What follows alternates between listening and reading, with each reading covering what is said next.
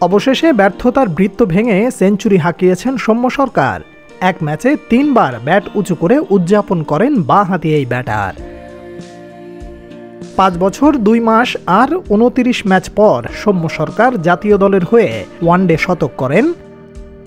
আজ নিউজিল্যান্ডের বিপক্ষে একশো একান্ন বলে একশো উনসত্তর রানের অসাধারণ এক ইনিংস খেলেন। তার ইনিংসটি সাজানো ছিল বাইশটি বাউন্ডারি এবং দুটি ওভার বাউন্ডারি। তাছাড়া সৌম্য সরকারের কেরিয়ারের সর্বোচ্চ রানের ইনিংসও এটি। এর আগে দুই হাজার পনেরো সালে পাকিস্তানের বিপক্ষে মিরপুরের মাঠে খেলেন একশো বাহাত্তর রানের অপরাজিত এক ইনিংস। সেই সাথে মাহমুদুল্লাহ রিয়াদকে টপকে নিউজিল্যান্ডের বিপক্ষে বাংলাদেশের ক্রিকেটারদের মধ্যে ব্যক্তিগত সর্বোচ্চ স্কোরের মালিক এখন সৌম্য সরকার। তবে এই বাহাতি এখানেই থামেননি, তামিম ইকবালকে পেছনে ফেলে বাংলাদেশের হয়ে আন্তর্জাতিক ওডিআই ম্যাচে দ্বিতীয় সর্বোচ্চ রানের মালিক এখন সৌম্য সরকার। একশো ছিয়াত্তর রান নিয়ে তার ওপরে আছেন লিটন কুমার দাস। ভাগ্য আজ সৌম্যের পক্ষে ছিল। তা না হলে তিন অঙ্কের ম্যাজিক ফিগার স্পর্শ করতে ব্যর্থ হতেন।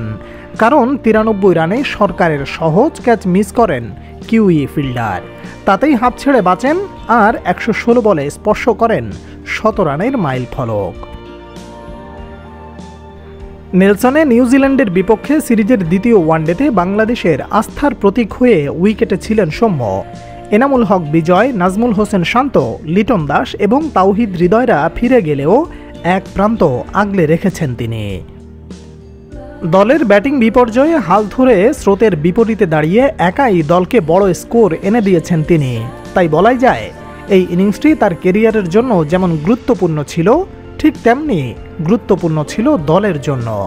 হয়তো সৌম্য এই ইনিংস না খেললে দল যেমন বিপদে পড়ত, ঠিক একইভাবে বিপদে পড়ত তার কেরিয়ারও শেষ পর্যন্ত সব সংখ্যা উড়িয়ে দিয়ে সৌম্য সরকার রানে ফিরলেন।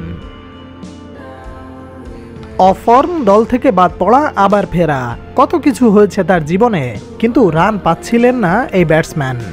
শেষ দুই ইনিংসে রানের খাতা খুলতেই পারেননি, সেখান থেকেই শুরু করেই পেলেন শতক।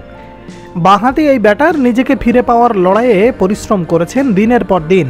পাশে দাঁড়িয়েছেন কোচ, তাই এমন ইনিংসের পর সবচেয়ে বেশি স্বস্তি কিংবা আনন্দ পাওয়া মানুষটির নাম নিশ্চিতভাবেই বলা যায় চন্ডিকা হাথুরু সিংহে। কারণ তার চাওয়াতেই সম্মুখে দলে নিতে বাধ্য হয় নির্বাচকেরা। সে আস্থার প্রতিদান এর চেয়ে ভালোভাবে হয়তো আর দেওয়া সম্ভব নয়। এমন ইনিংসের পর সৌম্য তার ভক্তদের ধন্যবাদ দিতেই পারেন, যারা খারাপ সময়ে পাশে ছিলেন। বিশ্বাস ছিল নিজের প্রিয় ক্রিকেটারের উপর। প্রার্থনা করতেন লাল সবুজের জার্সি গায়ে। সৌম্য যখন ব্যাট করতে উইকেটে আসতেন, তারাও আজ আনন্দিত এমন ইনিংস খেলার পরে। Salman Abdullah sports and news